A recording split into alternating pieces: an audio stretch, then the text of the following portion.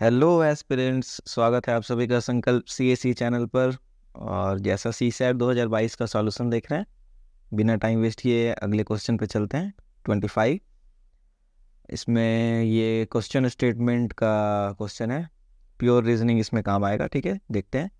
Consider the question and two statement given below question ये है is Z brother of X Z क्या? X का भाई है? ये सवाल पूछ रहा है। तो अब देखते हैं स्टेटमेंट क्या है। स्टेटमेंट वन है X is brother of Y and Y is brother of Z X जो है वाई का ब्रदर है and Y is brother of Z ठीक है?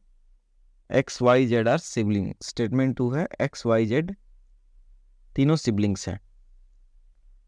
तो ऑप्शंस बताइए।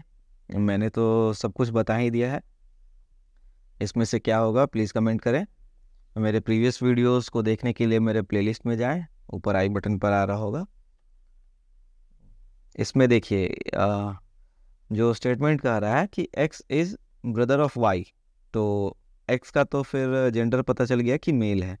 ठीक है ना? मेल का जो है जेंडर ऐसे डिनोट करेंगे और फीमेल का डिन जनरली जो प्लस साइन से डिनोट करते हैं। तो इसमें x is brother of y में x तो मेल हो गया and y is brother of z में भी y का जेंडर मेल पता चल गया, लेकिन z का जेंडर इस स्टेटमेंट से पता नहीं चल रहा स्टेटमेंट वन से, ठीक है ना? तो स्टेटमेंट वन तो सफिशियंट नहीं है, फिर स्टेटमेंट टू क्या है? As X Y Z are siblings ती मतलब तीनों है जो भाई बहन रिश्ते में है ना? तो इससे भी क्लियर नहीं हो रहा स्टेटमेंट टू से भी क्लियर नहीं हो पा रहा है। तो दोनों ही स्टेटमेंट से क्लियर नहीं हो रहा है तो इसी कारण से जो ऑप्शन डी इसका सही हो जाएगा। Both statement one and statement two are not sufficient to answer the question तो सिंपल रीजनिंग है स्टेटमेंट पढ़ना है और उसको नहीं लगे तो दो तीन बार भी पढ़ के सॉल्यूशन के तरफ़ अप्रोच करना है।